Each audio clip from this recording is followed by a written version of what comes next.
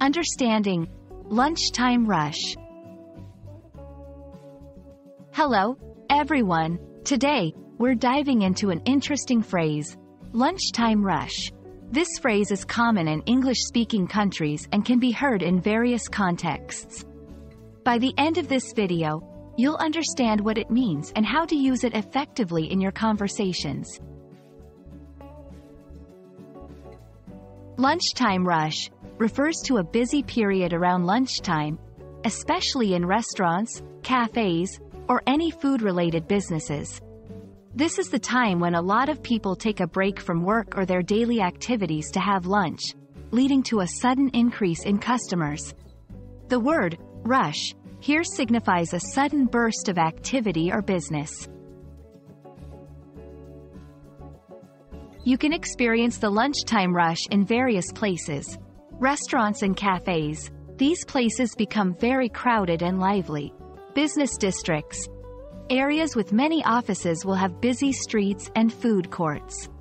Schools and universities, canteens or nearby eateries experience a surge of students. Let's see how to incorporate lunchtime rush in sentences. Let's avoid the lunchtime rush and eat a bit earlier. The cafe is so peaceful before the lunchtime rush. Working during the lunchtime rush can be quite challenging. If you find yourself caught in a lunchtime rush, here are some tips. Plan ahead. Try to have lunch before or after the typical rush hour. Patience is key. Understand that service might be slower due to the crowd. Explore less crowded places.